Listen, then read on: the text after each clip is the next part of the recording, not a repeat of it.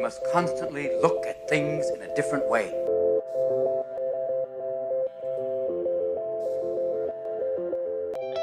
The Healthcare Education Transformation Podcast was created by two physical therapists out of the desire to learn more about the different educational roles in physical therapy and healthcare, and how healthcare education works by talking with educational leaders and people with different perspectives within physical therapy and across interdisciplinary lines on how education can be improved to disrupt the status quo of healthcare education. This is our journey, and thanks for listening. Are you a third year physical therapy student that excels on tests when you have study guides, checklists, and deadlines? With all of the information available about how to prepare for the NPTE, it's easy to get disorganized and not feel prepared going into the big day. NPTE Prep Success is an online course that provides PT students easy to use study guides and step by step guidance through the NPTE preparation. To learn more, visit kylericeprep.com. Thank you again all for your continued support. And now for the show. Hey, hey, everybody, welcome to another episode of the Healthcare Education Transformation Podcast. I'm your host, Brandon Powen. And today I have a very special guest on to talk about um, more avenues regarding written communication as a healthcare provider. As today I am very thrilled to welcome Dr. Jasmine Marcus, who is a physical therapist and writer currently practicing physical therapy in upstate New York. Now, a little bit of background, and then I'll have Jasmine introduce herself. But before becoming a PT, she was actually a journalist, and she was also a host of a college sports radio show in Israel. Jasmine's also a recently certified strength and conditioning specialist and a member of the American Physical Therapy Association, and is especially interested in combining PT with her media experience. Well, Jasmine, thank you so much for all that you've kind of done throughout your career thus far and all the contributions you've made. And of course, thanks so much for joining us today. Yeah, thanks so much for having me on, Brandon. Yeah, no, anytime. We'd love to kind of sit down and chat because, you know, I, I know as I kind of just mentioned in that brief introduction there, I know there's a lot more into your background that I didn't go over, and I know you'll I'll give you plenty of chance to go through that. Um, but you know, just getting into that story of like how you were a journalist and like how you ended up becoming involved more with radio, like mm-hmm. I'd love to just kind of know kind of what your story is regarding that and how you know everything has gotten you to where you are today, if that's okay. Yeah, of course. So, being a writer or being a journalist was what I always wanted to do. Like when people talk about what they've wanted to do since they were little, that was my dream. Um, I think I naturally was good at writing, and then because I was good at it, I enjoyed it. And I just always sought out opportunities in high school and in college. I was an editor of the college newspaper. I had all my internships were in journalism, some were in radio. And that was kind of everything that I was going towards.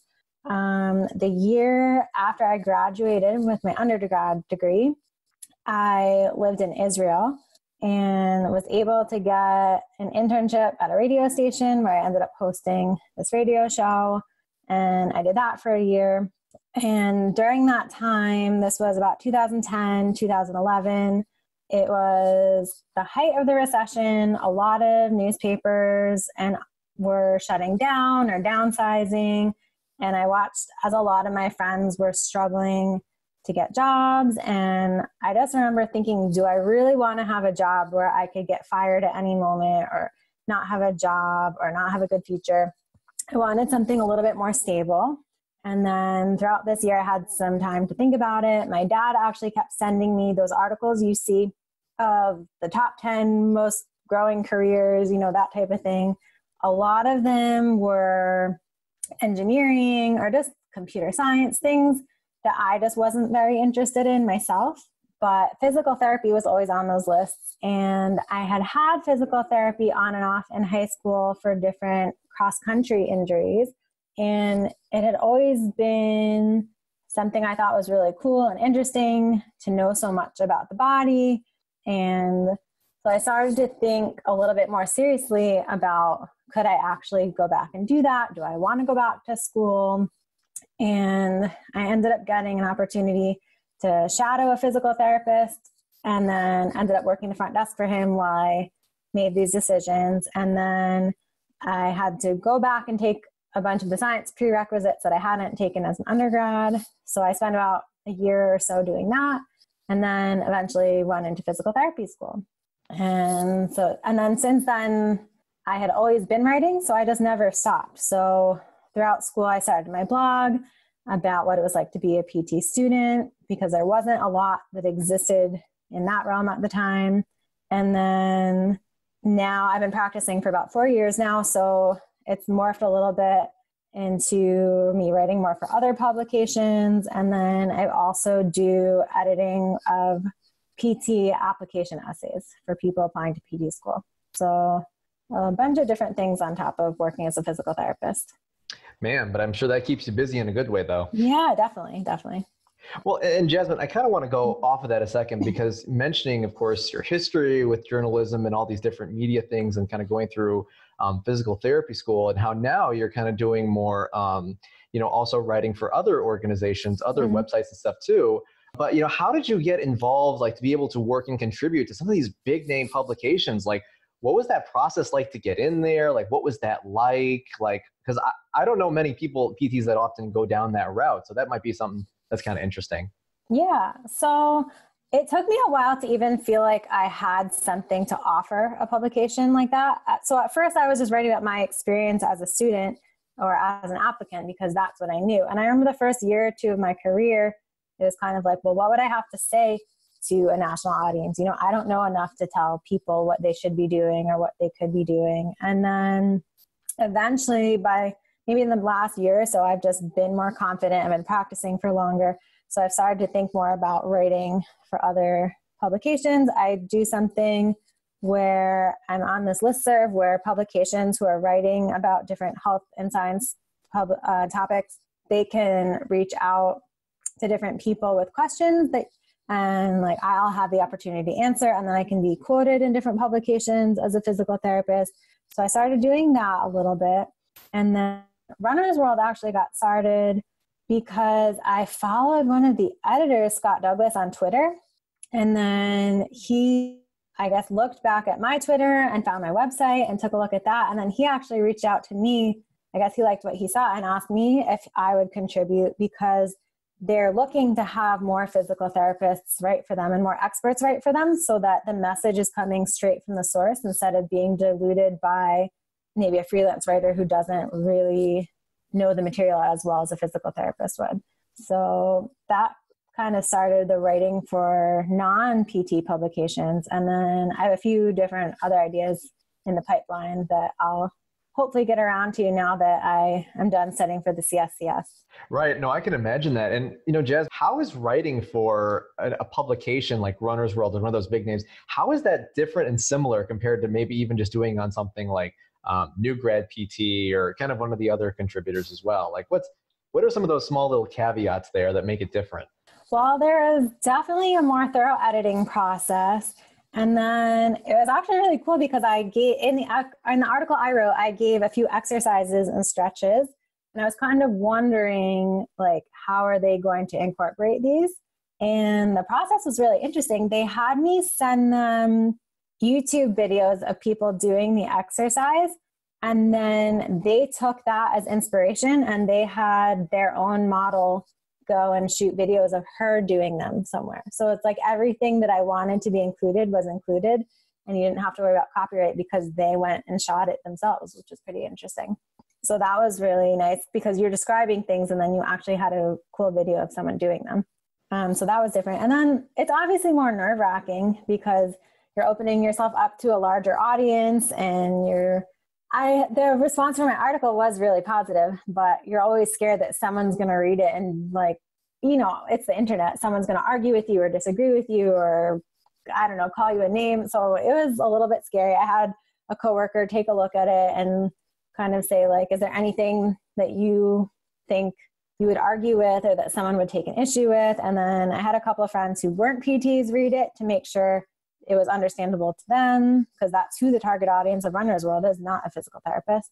So I definitely was more, I tried to prepare a little bit harder for it than I think I would for maybe a physical therapy website.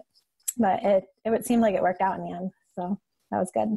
Well, good. I mean, that seems to make a whole lot of sense. And, you know, and Jasmine, I, would love to kind of pick your brain on, you know, effective writing, especially for blogging, because mm-hmm. given your experience and all those different avenues you had mentioned, And of course, recognizing that people that are listening are probably students, faculty, or even can have some variability within that. So, based on what you've learned thus far, what are some of the tips you'd kind of recommend for writing and kind of really having a blog that's really effective in its written messaging? Yeah, I think the biggest thing is you have to decide who you're writing for.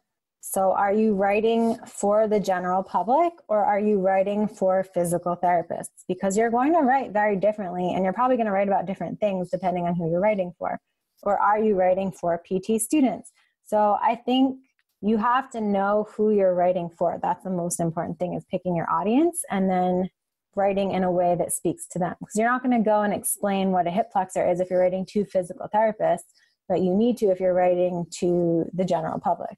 So you have to know who the audience is, first of all. And then everything I wrote, I tried to make sure I could back up with research and with studies. And so you're not just saying, because there's certain things you think or you come to think as a clinician, and then you're like, okay, but is there actually research behind this? So I didn't want anything that I wrote to be to put in and then realize, oh, actually, there's no research for that. That's just something I think or something I've been told. So I tried to make sure that everything that I stated as a fact at least had research behind it. If not, you know, everyone's not going to agree with everything, but it wasn't just something that someone had told me. It was there's actually research to support what I was saying.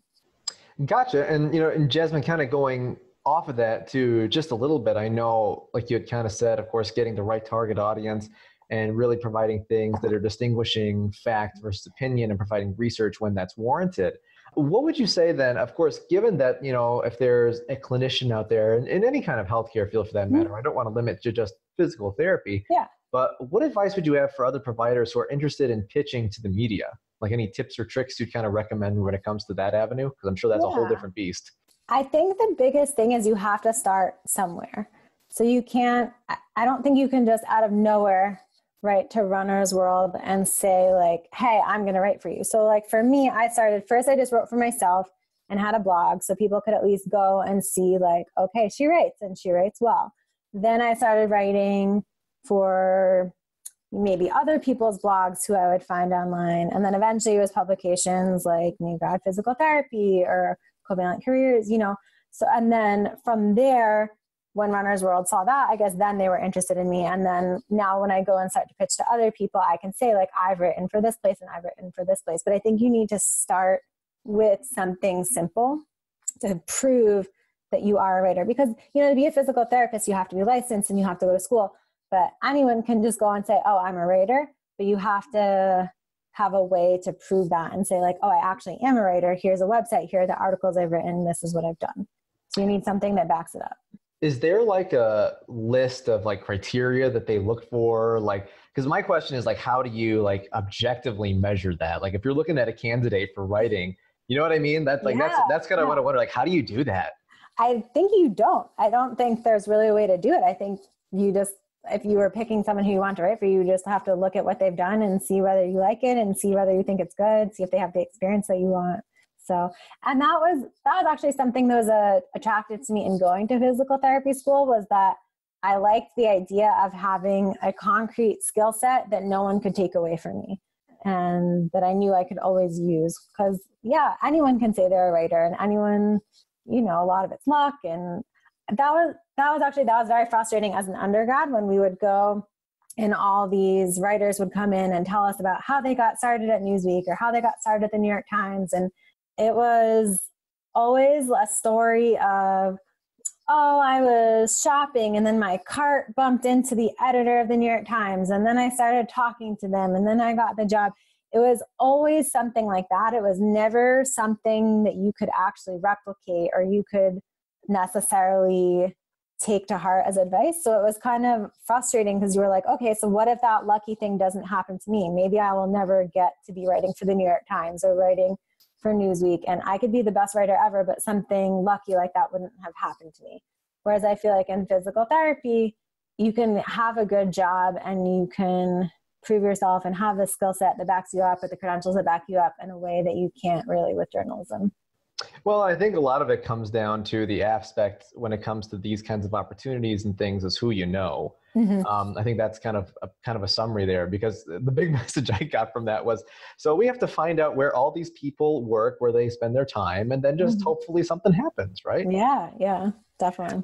But but I think that's really interesting because you know going off of that and kind of going more to you know our profession of physical therapy. Of course, one thing that we've heard time and time again is um, that we have difficulties with effectively effectively communicating to the general public about what we can do as physical therapists. Now, yeah.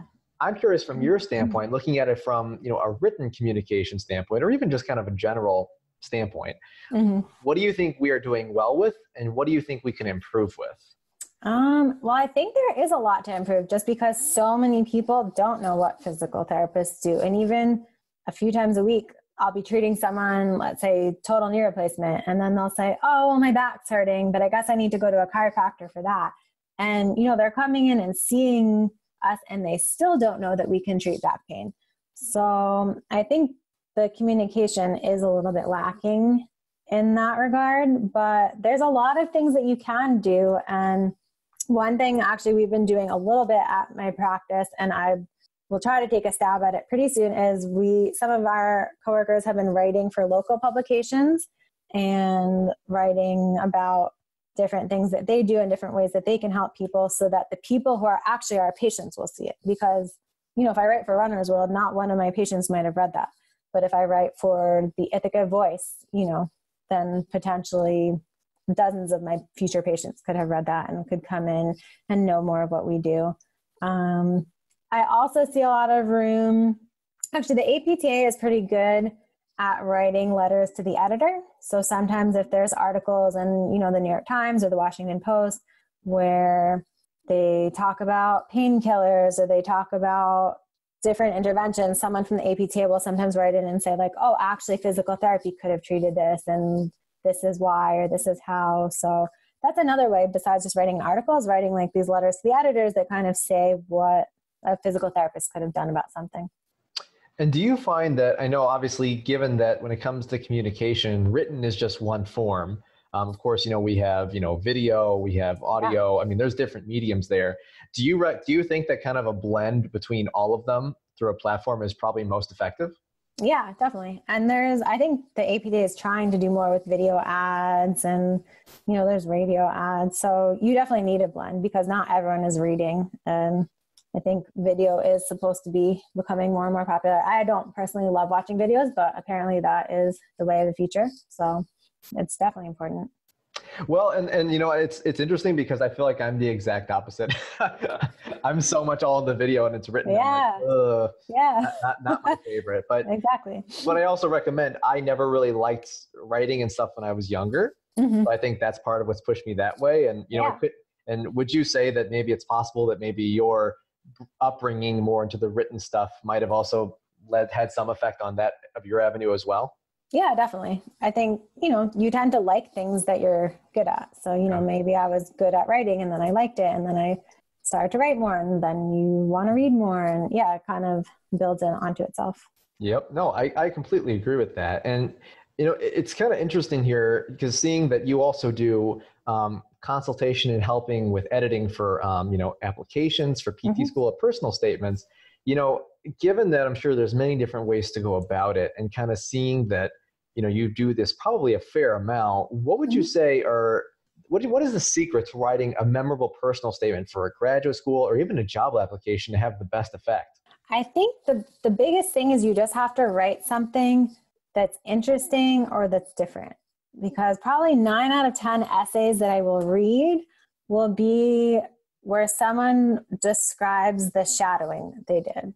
And so if you think about it, I'm even a little bit bored reading about the shadowing, and I'm not the professor who has to read hundreds of these. And so you want to write about something different or something personal, and you don't want to write about like the time I went to physical therapy and watched someone get treated for a knee replacement. And then, besides the fact that that's not going to make you stand out, the things that you think are interesting as an applicant are interesting to you because you've never really seen physical therapy before. but they're not going to be the interesting story to a clinician. So, you know, the stories that you sit around and you tell your coworkers aren't, oh, this person came in with a knee replacement and then they could walk again. I mean, you probably see that 10 times a day. So, to read about that is just not interesting if you've been practicing for many years and you're the professor reading hundreds of application essays. And then, what I would also add to that is a lot of those essays are about what the student saw, and the student is not even really in the essay. So they're just describing a physical therapy session. So you can read the whole essay, and the student's not even really in the essay.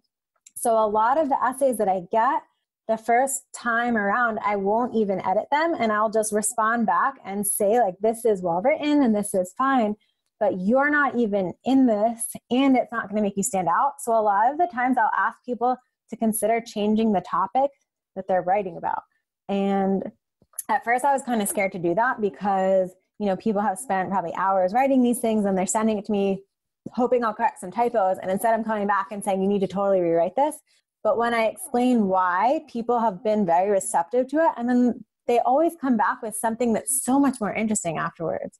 And sometimes it's about a difficult family situation, or sometimes it's about a health condition they have. And it might have nothing to do with physical therapy, but then it's interesting and it's about them. And it hopefully ties into why they'll be a good physical therapist. And I think that is so much better than reading about the time they went and watched someone bend their knee to 120 degrees. Yeah, and, and if I may kind of ask your thoughts on this too, I know one thing knowing that a vast majority, or not maybe not a vast majority, but there's a significant number um, of clinicians that go into physical therapy, partially in which because they've also had a prior experience with physical therapy yeah. themselves. Yeah. So I, and given how we as human beings tend to really like stories, mm-hmm. um, what are your thoughts on people kind of telling their story as through the patient's eyes and you know, leveraging that into their um, application as their personal statement. What yeah. do you think about that? That's tricky too, because like you said, so many people do that. So I think you need to find a way, if you are going to do that, to make it a little bit unique. And even my own essay, I touched upon the fact that I had sprained my ankle in high school, and that's why I originally was in physical therapy. But then I kind of veered off from that and went into my background as a writer and as a journalist. And that made me stand out and that was more interesting. So I think you can go into it, but I don't love those essays. Sometimes people will keep them because it is about them and they think it highlights them and that's their big defining story. And those people will still get into schools.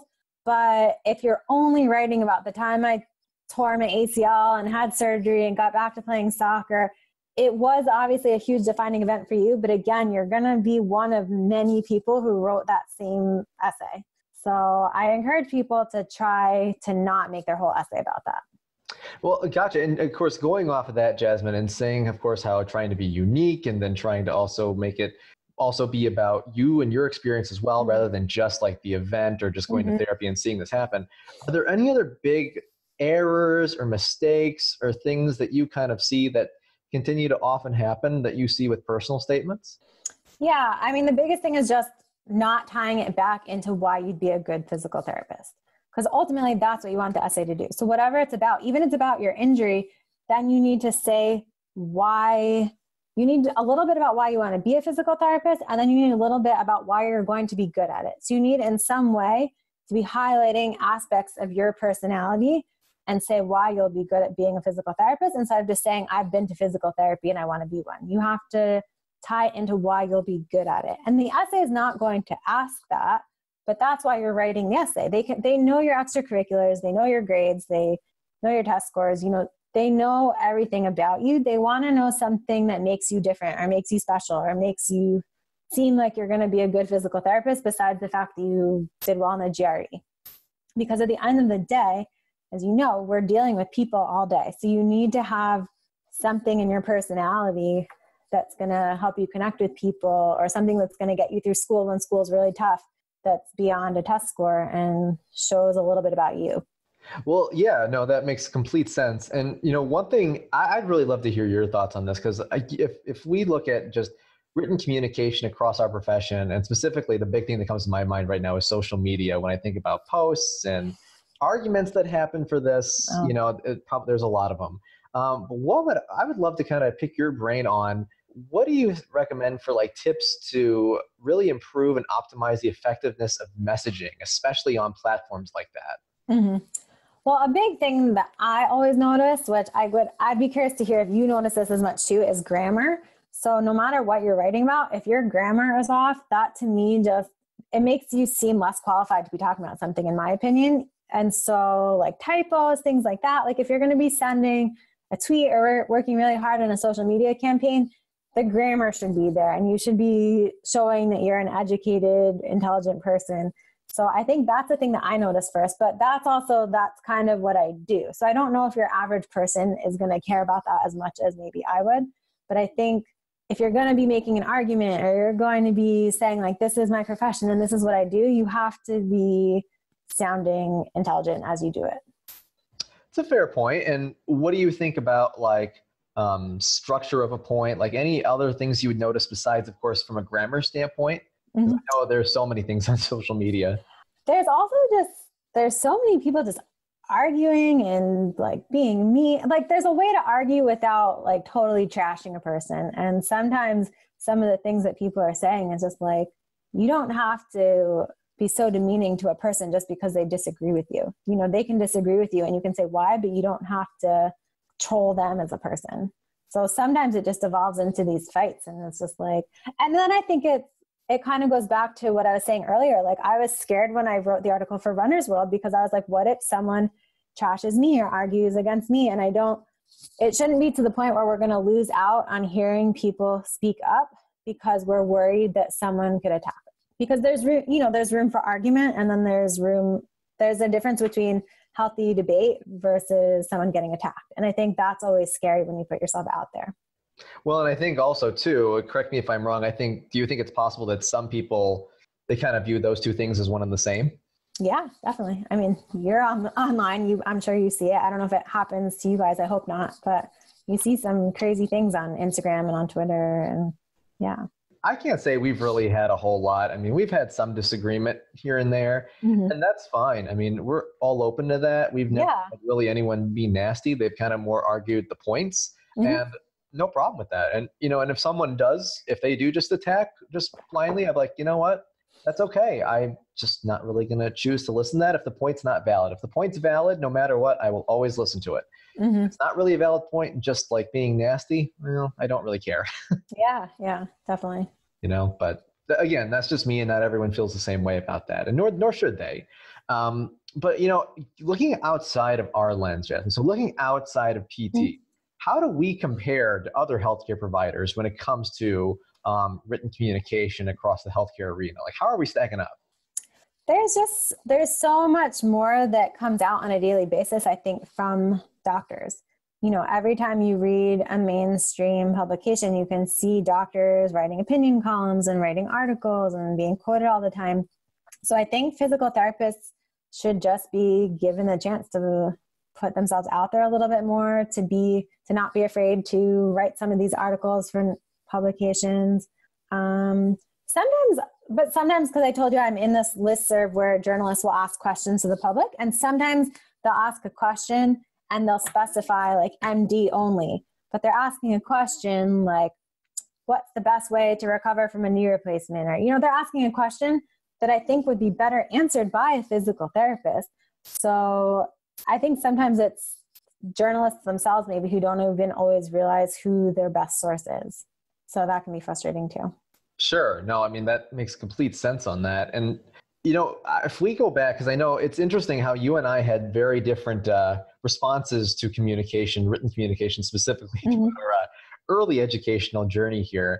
And yeah. I recognize that there's, it's not apples and oranges. There's many different things that are going on. It is apples and oranges, excuse me, because I realize we're there's a lot of different things going on here. But do you think that you know DPT education on a whole effectively incorporates um, how to really be an effective written communicator while in PT school, and why or why not? I know my program did not. I mean, I could probably count on one hand the times that we got to write something, and I was I loved it. I was like, yes, we don't have to do another multiple choice test right now. But there's not a lot of writing that comes out of PT school, unfortunately. Although I will say we had an it wasn't an elective. Everyone had to take it, but it was kind of one of those courses at the end. It was a business course. And the instructor did have all of us write a letter to the editor in response to something so that we would get used to the idea of what that takes and what that's like. And I thought that was really cool. But as a whole, there wasn't a ton of writing. And sometimes when I would read my classmates' writing, you know, if we had to comment on a discussion board or something like that, it was a little bit scary to see like oh these are people in graduate school and they're having trouble forming a complete sentence or you know something like that. And you know you think like okay how are their notes going to look when it goes back to an insurance company or something like that? So there probably could be a little bit more emphasis on writing but there's also so much you have to do in pt school that i don't know that that should be the biggest focus. Well and, and then another argument to that is should it even be the program's responsibility? Should it be should we have resp- should we have had that more throughout early earlier education or even high school education? Yeah. like, that, that's a big question i i would think. Yeah i mean i think i i think the country as a whole is probably not getting it enough in earlier in their education. Well yeah and do you think given what you know now do you feel like um, even through high school undergrad do you feel like writing's being effectively addressed based on what you're seeing or not really based on what you were telling me earlier? Yeah um probably not because even as an undergrad and I was at Cornell and you have to take freshman writing seminars and you have a lot of classes where you're reading other people's writing and a lot of people just can't write well. And you know they come into college like that and I don't know how you fix it or when you fix it but I don't know if taking one writing seminar really is going to fix that for the rest of your life. So I don't it might just be something you have to learn when you're younger or you have to really dedicatedly learn as an adult. But I don't know what the solution is for that. But a lot of people don't write well. And I think that's pretty clear in a widespread sense. Well, absolutely. So I think that point, along with I know some people, myself biased, that some people definitely like I, I like back early in the day, I loved math and science so mm-hmm. much more, and I just dreaded reading in English. Yeah, I I just wasn't that good at it, and mm-hmm. I was open to it, but I was mm-hmm. just just not getting it near as well as the other things because it, I felt like for me, it was more like science and math were so much more objective along mm-hmm. with theories, and that was so much yeah. easier to grasp to me for some reason than you know the English and that part more so. And mm-hmm. and I know that there's other people that have gone both ways on that, but that's I can understand how that can contribute to some degree for sure. Oh yeah, definitely. Well, and given, you know, of course, I want to dive into one last aspect when it comes to mm-hmm. communication, especially from a written point, and that's as PT students, of course, they all have to going through clinicals and how um, clinical instructors or CIs really can provide effective communication, especially with their CPI um, goals and that kind of thing. So, from your opinion, how can clinical instructors uh, encourage or improve written communication with their students while they have them in the clinic? Yeah, I thought that was really interesting. I actually I just had a student and I'm about to get a new student, so I was thinking about that. And I never really have thought about written communication with my students as much, but a big thing is I'm sure or you know is I emphasize oral communication. So pretty early on with my students, when the patients start to ask me questions, I'll let the student answer. And if they're really floundering or if you know they say something that's incorrect, I'll jump in. But I try to get them used to those situations. And so I try not to say, like, oh, I'll answer and then you'll learn from me and you'll learn what a good answer is. I kind of will say, you answer, figure it out. And if it's a bad answer, you're going to learn from that. And then the next time you'll be less awkward when you say it. Because I think the best way to learn is to do it. And you're going to get those hard questions and you're going to get the vague questions of when will this get better and what exactly is going on. And you need experience answering those. So I think a big thing I do is I just early on, I just try to let my students just do it and see what happens. And then later we'll talk about it or talk about how they could have said something different or better. But I think some of it is just kind of making them get their feet wet and just jump in and see what happens. Well, and with that, I really like how you let them be themselves because I know one thing, I forgot what study it was. I can never remember study names very well, but yeah. there was one that they basically said that um, newer clinicians practice a lot like their last CI or it, it was something along that. Mm-hmm. And I think it's good that you're not like trying to control and turn someone into you. You're saying, mm-hmm. "Hey, I want you to be you," and mm-hmm. that, and I'll give you some signs on when that may or may not be the best way and we can talk about it but you're you're you're really letting them be themselves hmm so that's something i really really do appreciate and respect with you know your method on that because i do think sometimes there is kind of a tendency to control and kind of make a mini me shall i say Yeah, definitely. And, uh, i like how you don't do that hmm Yeah, thanks. well yeah i mean because it's it's important and you know we got to of course ask jasmine because this is our finale question because of Yeah. course being called the uh, healthcare education transformation podcast we have to ask this question at the end and what it is is if you could change one aspect of healthcare education whether that be physical therapy or other healthcare provider related which aspect would you change and how would you change it So, what I wish was actually something that would be more for the greater public. And I wish that maybe in high school, everybody learned anatomy because I guess because I didn't always want to be a physical therapist and I didn't study it until later on, even after my undergrad, I have a very clear divider in my mind of kind of how I understood things before I was a physical therapist and then how I understood things afterwards. And I remember taking anatomy, uh, even at the undergrad level, just totally changed the way I thought about my body. And I learned, you know, you learn most people don't even know what's the difference between a ligament and a tendon, and they don't know where muscles are, or even how to know if a muscle is what's bothering you or not what's bothering you, or you feel, I would like, you'd have a pain and you could say, like, oh, this is probably a muscle, or this is probably this, or it's coming from here, or it's not coming from here. And it just totally changed the way I thought about my body. And I just thought it was so useful beyond even eventually becoming a physical therapist. And then I remember thinking, you know, why did I learn about um, photosynthesis like eight different times in school? And why did I learn, you know, some of the more higher end stuff I learned in physics or in chemistry? And those are things that are good to know and maybe can be helpful if you're eventually going to go into a science career. But everyone has a body and everyone, most people don't really know that much about it. I mean, even the most educated professors will come and see me and say, you know, oh, my knee hurts. I really think it's a ligament. And if I feel comfortable enough, sometimes I'll say to them, do you actually know what a ligament is? And they don't. And then they don't really have a reason for why they think it's a ligament that hurts them. And they don't really have a way to describe how their pain hurts or when it hurts. And health literacy is a really big problem. And I think one way to tackle it would be to standardize teaching anatomy to younger people and to teach it instead of some of the other sciences that I think are less useful on a day to day basis. And I say that obviously as a scientist who has a big respect for science, but I think I could have learned a little bit less physics or a little bit less about animals in biology. And I wish I had learned more anatomy. I think that's a really interesting answer because that's not one we've heard before and it makes a lot of sense. So I love it. And what are your thoughts on just adding to that? Because obviously, getting into just early education, because I, I definitely will agree with you. There are some things that I learned that I didn't necessarily think were the most relevant for my path later. Mhm. Um, that's just my thought on that. And but. I think if if everyone had to take ana- anatomy, but then also like Mhm. like no basics of exercise, basics Yeah, of nutrition, basics of self hygiene. And, you know, how many, that's so much more relevant to your daily life than chemistry or physics or calculus or so many of the other things that we learn in middle school and high school. I mean, we've all seen those memes that are like, oh, thank God, you know, it's, it's tax season. Well, thank God I learned about parallelograms or, you know, those memes.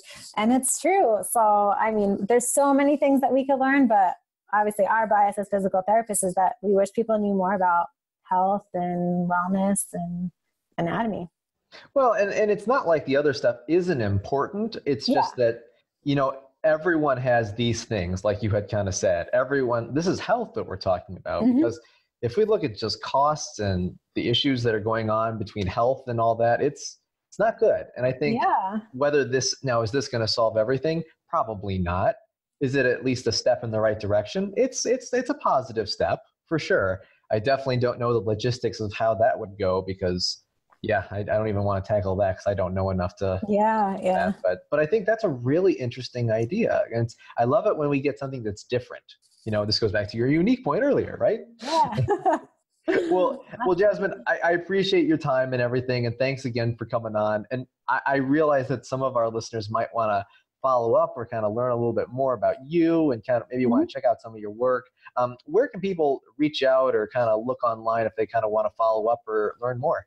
Yeah, so my website is jasminemarcus.com and that has all my articles and links to everything. And then um, Facebook, Instagram, and Twitter. For all of those, I'm J Marcus DPT, and pretty easy to find on any of those. Well, perfect. And guys, they'll be in the show notes. So if you just scroll down, if you're on your phone, all those links are right there um, for you guys to check out. Um, well, Jasmine, again, thanks so much for your time, effort, and your insights. It's been a true pleasure.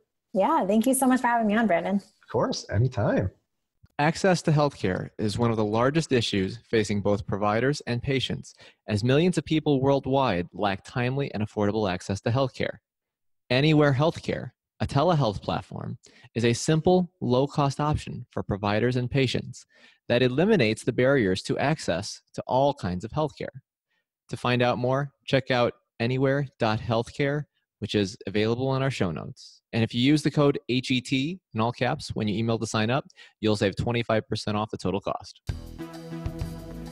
Thank you for attending class today, and we hope that you learned something and gained value from the content.